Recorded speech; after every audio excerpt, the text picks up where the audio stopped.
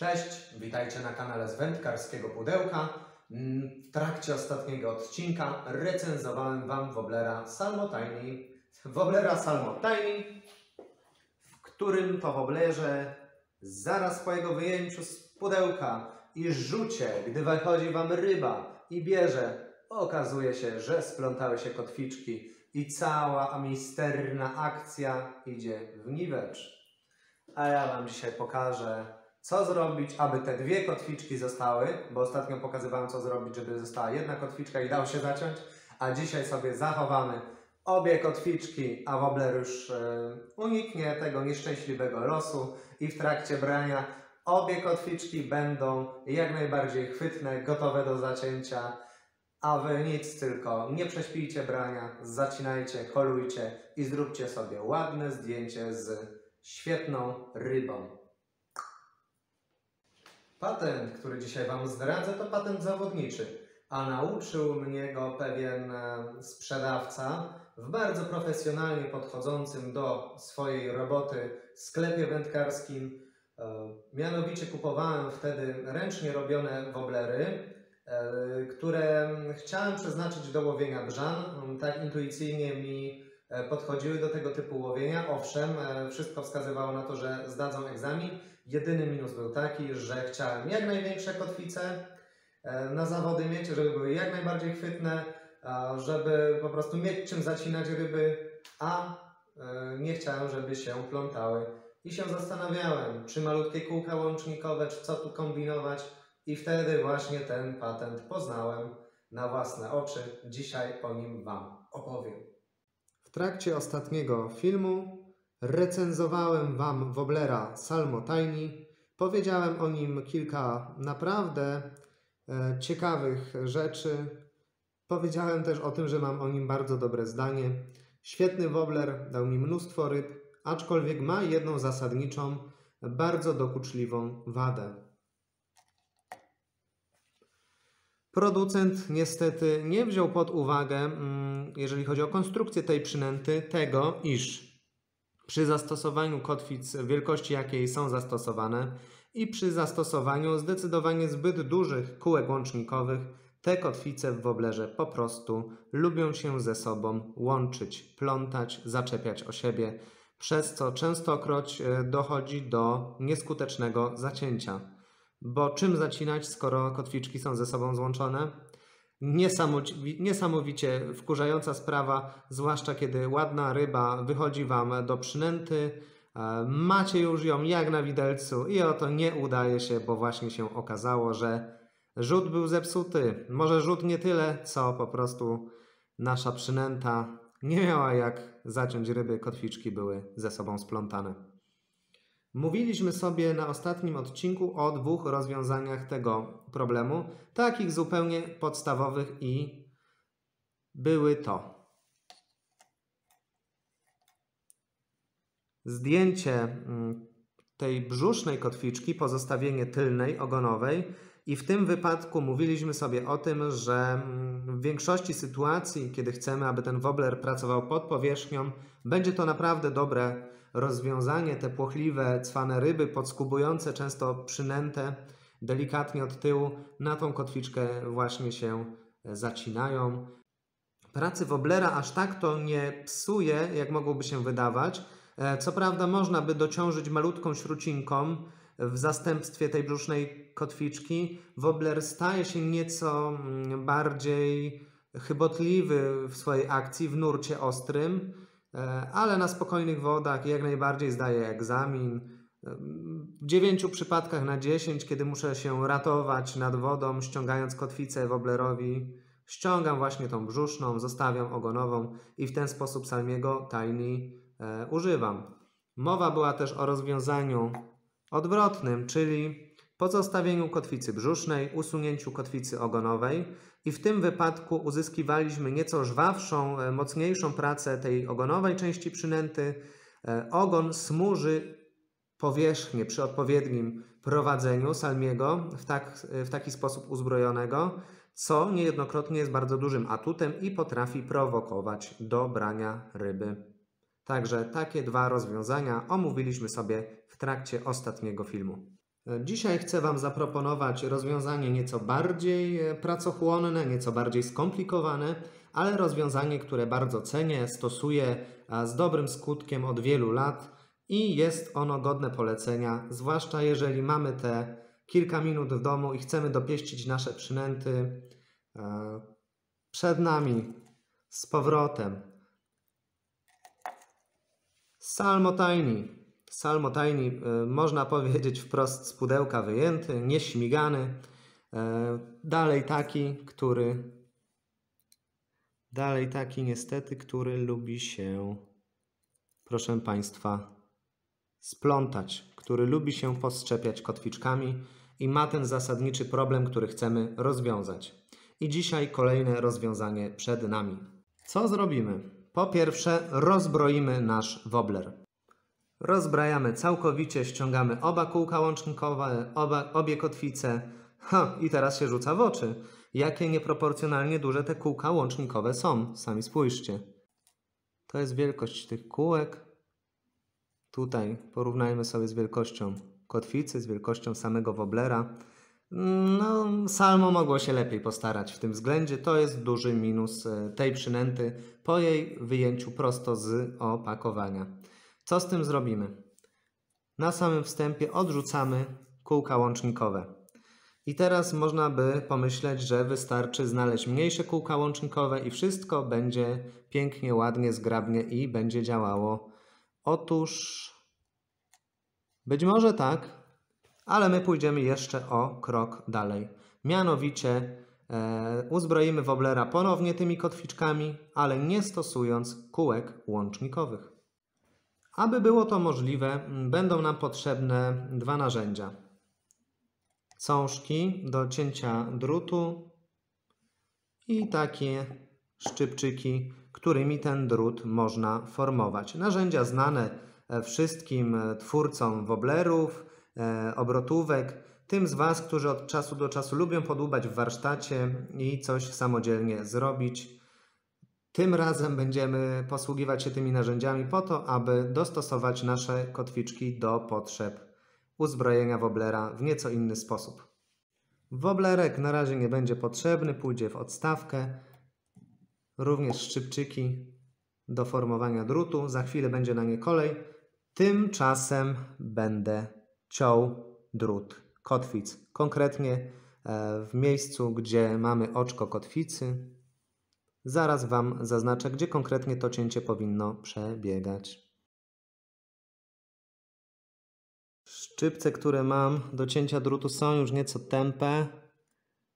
Zaznaczę Wam, gdzie tą kotwiczkę konkretnie ciąć, aby to miało ręce i nogi. A teraz trzymajcie kciuki, biorę się do rzeczy i trochę siły niestety będę musiał użyć.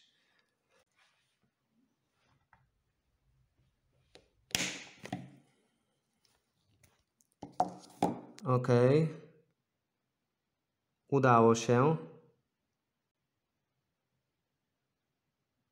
Drut kotwicy jest e, przycięty przy oczku. Teraz posłużę się tymi szczypczykami do rozginania drutu.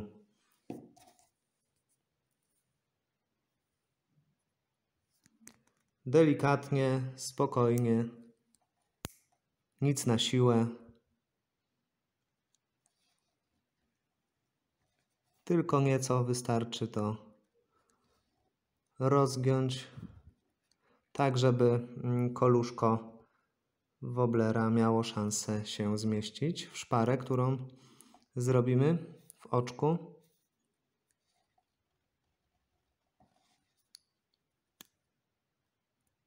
Jeszcze troszeczkę.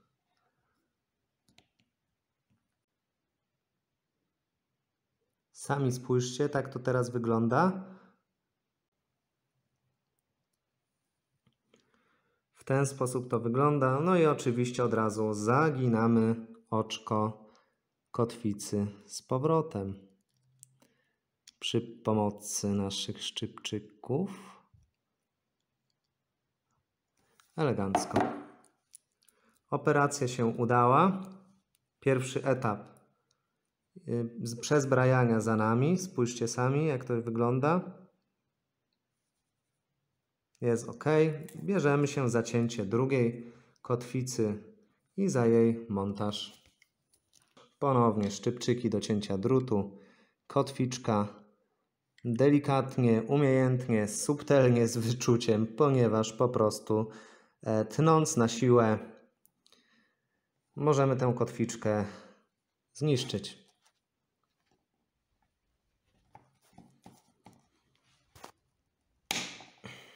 Dobra, udało się i tym razem spójrzcie sami, jest przecięty drut i teraz go rozginam przy użyciu szczypiec ponownie. Również z wyczuciem ta operacja. Niestety druty wielu kotwic e, pękają przy tym. Nie każda kotwic, kotwiczka się nadaje. Co mogę powiedzieć? Z pewnością niektóre mustady się nadają. Te takie w mosiężnym kolorze. To sprawdzona rzecz. Na przykład w cykadach Szuszkiewicza e, ten, tego rodzaju patent był zastosowany, że kotwiczki były rozcięte, zamontowane e, w ten sposób jak u mnie dzisiaj salmotajni będzie zbrojony. E, zaraz Wam powiem też o kotwiczkach Ownera, które się nadają do tego typu operacji. Drut kotwiczki, tutaj oczko rozgięte, rozcięte, rozgięte. Montujemy teraz w części brzusznej woblera pyk, nałożone i zaginamy szczypczykami.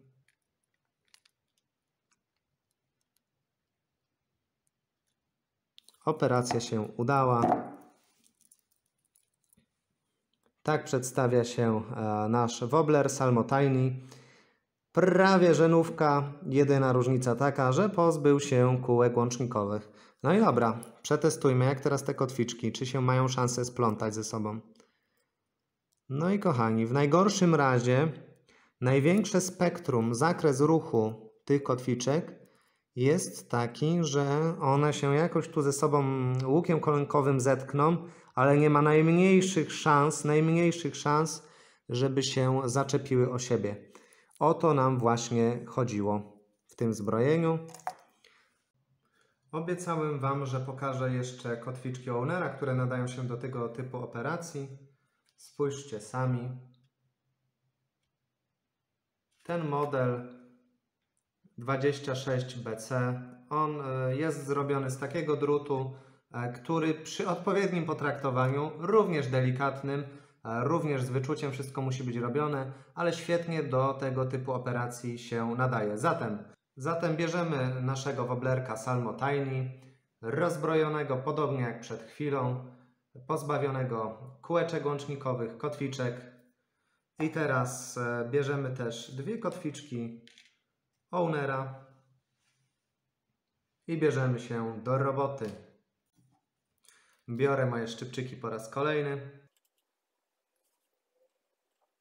Chwytam w odpowiednim miejscu i z wyczuciem, ale Niestety też z użyciem siły. Te to. O, słyszeliście, mam nadzieję, co się stało. Patrzcie, się trzymają tą kotwiczkę. E, spójrzcie z bliska.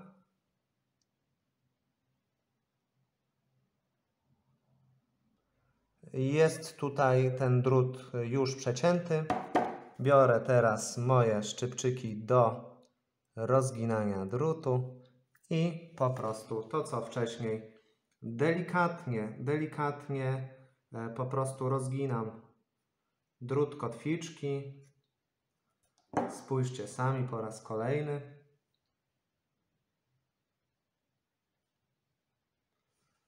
Nie pozostaje mi nic innego, jak założyć na jedno z oczek przynęty szczypczykami do drutu zagiąć z powrotem przed chwilą e, rozgięte oczko kotwicy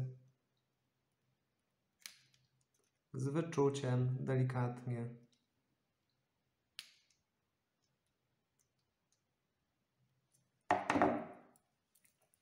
tak to teraz się prezentuje w jednym kawałku i bierzemy się za kolejną kotwicę.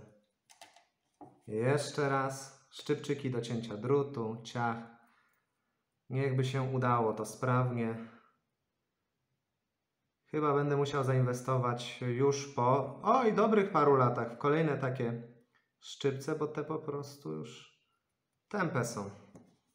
E, dobry patent przytrzymać sobie tutaj czasami mm, palcami drugiej ręki, drugiej dłoni tę kotwiczkę.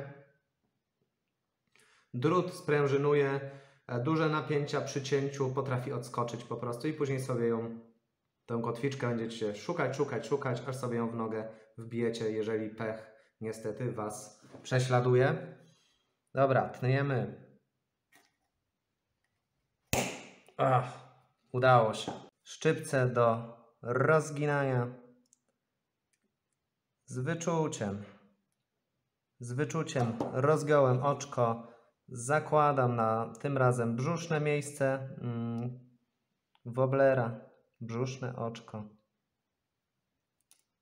No, jeszcze trochę muszę rozgiąć bardziej. Dobra, teraz wejdzie bez problemu. Jest. Biorę szczypczyki, zaginam.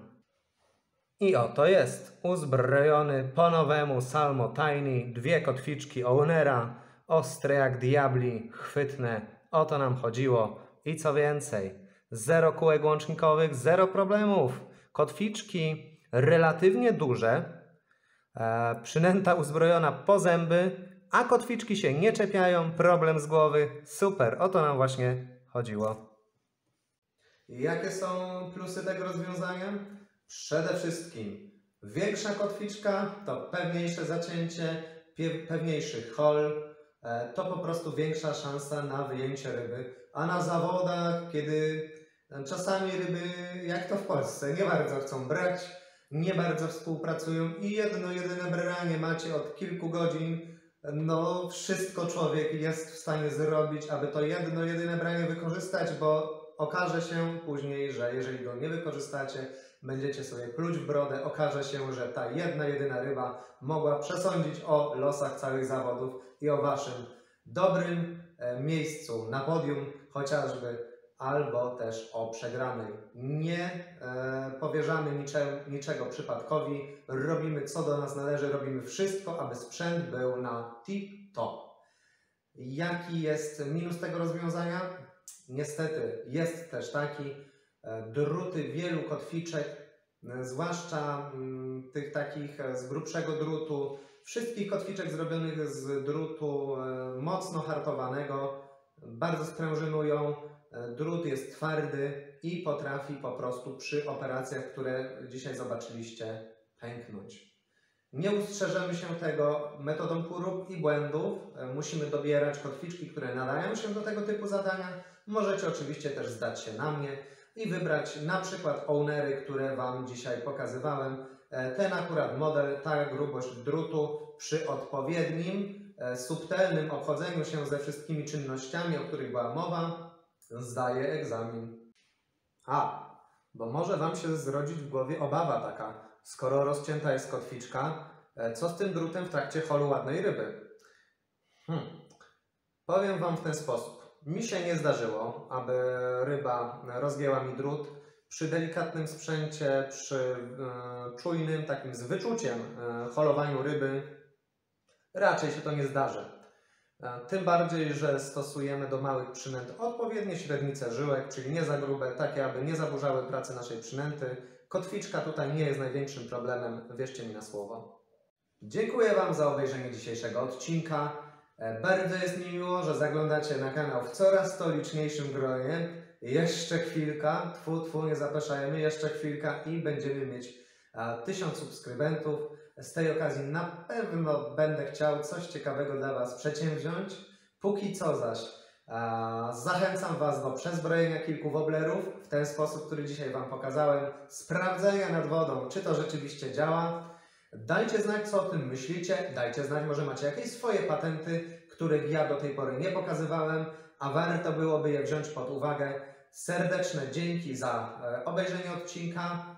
E, Dajcie łapkę w górę, jeżeli Wam się podobało. Zostawcie komentarz pod spodem, jeżeli macie jakieś pytania, bądź jeżeli chcecie o czymś porozmawiać.